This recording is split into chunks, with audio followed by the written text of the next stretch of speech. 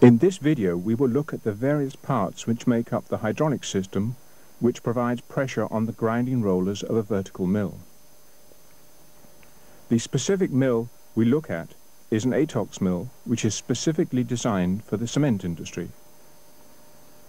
This mill is an example of a modern vertical grinding mill. The detailed description of the maintenance procedures for this mill are to some extent related to the ATOX mill's manufacturer's own design of hydraulic systems. In other words, the numbers given to valves and manometers in this video are specific to this ATOX mill. In order to make the demonstration of maintenance activities as clear as possible, we have chosen to look at the components of a brand new hydraulic system. This is before it is installed as part of a vertical mill in operation. Detailed diagrams and instructions should be available on site for all personnel who work with operation and servicing. This is an example of a comprehensive diagram which includes very valuable data of use in maintenance activities. This manufacturer's diagram has been provided to the company in connection with the purchase of the grinding mill. Photocopies of the diagram with important details should be available for both operating and maintenance staff. Examples of documentation are an operating manual, a service manual, both provided by the manufacturer, and a logbook which records and documents maintenance procedures that have been carried out. In this logbook, the following data should be registered. Pressure settings, oil temperatures, change of filters, and the dates for all measurements and maintenance operations. In addition, there should be a section which allows for the write-up of special events like change of oil blockage in the water cooling system, etc. The addition of new hydraulic oil takes place through the oil filter and cooling pump. Valve 20 has to be closed. Then the cap fitted to connector branch 26 has to be removed and a hose is mounted.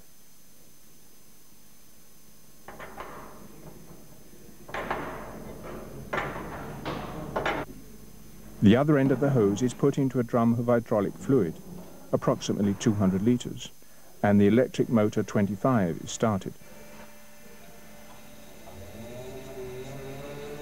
The fluid is pumped up through filter 33 and down into the tank. When the drum is nearly empty, the electric motor is switched off. The motor is restarted, and care must be taken that excess air is not sucked into the system. The process is repeated using a new drum of oil. Six drums should be enough to fill the system. The level in the tank must be checked continually. Filling up to level 1 is carried out in connection with the very first equipment start, or when oil has been drained from the system. This is necessary because the cylinders have to be filled up with hydraulic oil. When level 2 is reached, the hose is removed.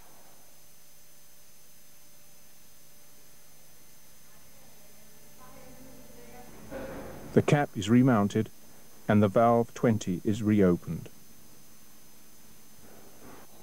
Emptying hydraulic fluid from the system is also carried out using the filter pump. In this case, the cap on connector branch 30 is removed and the hose is mounted here. The use of electric motor 25 will now empty fluid out into an empty drum.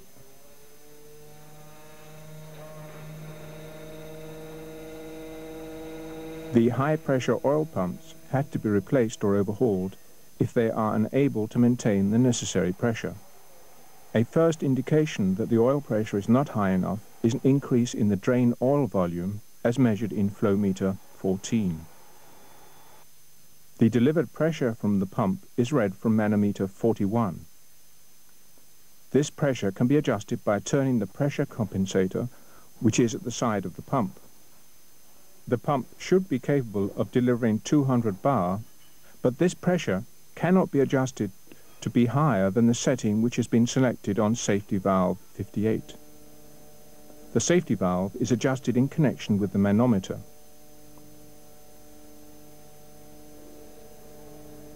If a pump is to be removed, it is important to close suction valve 4. When a pump is reinstalled, it is necessary to prime the internal body of the pump with hydraulic oil.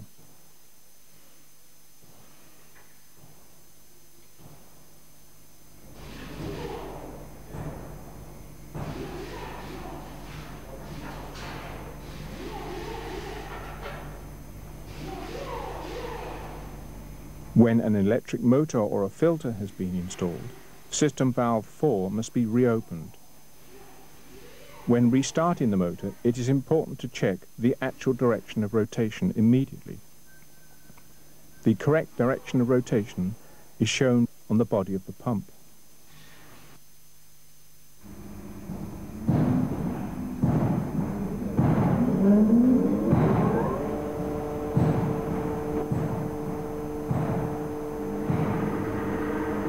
If the direction is found to be wrong, then the electrical connections must be reversed by an electrician. Like all hydraulic systems, the removal of air from the system is of vital importance. A useful way of removing air is to employ a hose usually used for measuring pressure.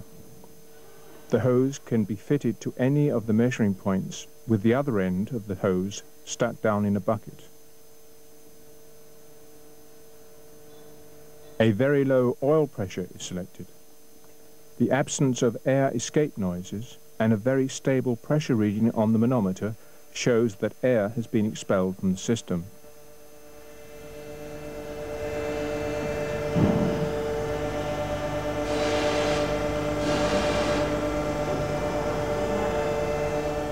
Special air removal nipples can be found on the side of the accumulators. If a part of the system near the cylinder has been removed, it is necessary to move the cylinders to their extreme position to expel the air. This can only be done by removing the pressure rods from the cylinders. It is important to check that the pre-charge pressure has the correct relationship to the grinding pressure. The relationship between these two pressures at different levels are given as a graph in the operating instructions available with a specific mill. For every grinding pressure, there is an optimum pre-charge pressure which gives the vertical mill the best possible grinding effect without damaging the gas membrane. The pre-charge pressure, or gas pressure in the accumulators, can be read on gas manometer 105. The gas pressure can only be adjusted when the hydraulic system is in a no-load status. This no-load situation is achieved by opening valve 65. This diagram of an accumulator shows the rubber internal bladder which is normally only a few centimeters above the bottom valve. Valve 61 ensures a minimum oil pressure. This keeps the gas bladder away from the valve at the bottom of the vessel. If the bladder repeatedly hammers against this bottom valve, it will be damaged. This will remove the dampening effect. Adjustment of valve 61 must be done with the grinding rollers at rest.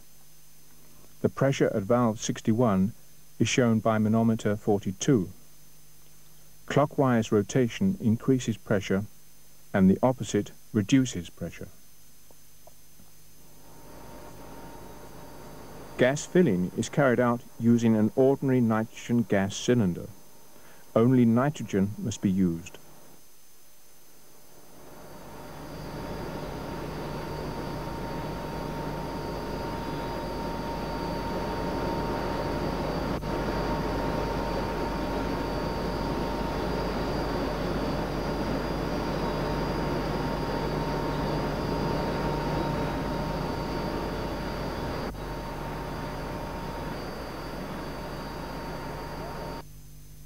Each cylinder has scraping rings, which remove dust and dirt from the piston. This reduces the quantity of dust which enters the hydraulic system. In addition, there are seals within the cylinders which are also subject to wear. These seals are placed just behind the scraping rings. The wear which has occurred at these rings can be controlled by the manometer hose 102. The hose can be released from the bottom of the cylinder. The quantity of oil which leaks past the seal will indicate the state of these seals.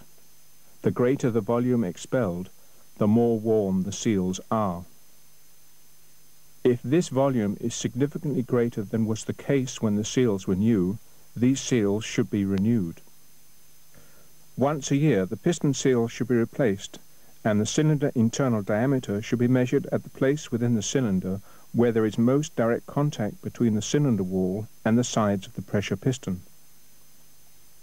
The diameter at this point of maximum wear should not be greater than 0.1 millimeter compared with the diameter of the cylinder where the piston really works. A difference greater than this means that the cylinder tube must be changed. Cleanliness is of the utmost importance for the continuous well-functioning of hydraulic systems.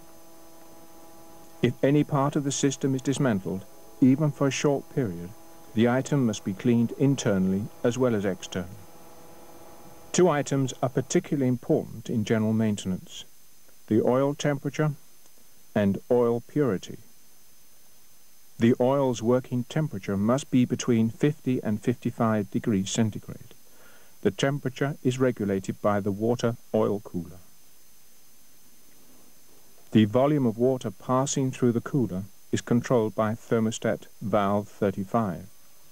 The filter for the water flow is number 34 and should be checked regularly.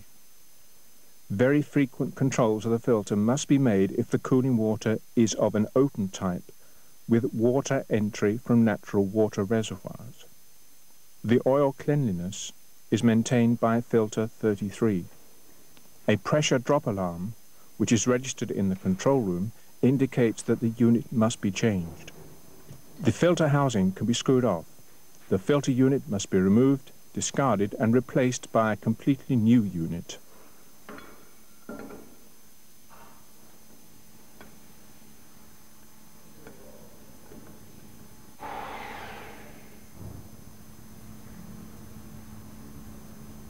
Impurities can enter the system through the tank filter if this is not functioning properly. Another source of impure hydraulic oil is contamination around the piston rings. This happens when the scraping rings are worn. Both the tank filter and the scraping rings must be changed every year.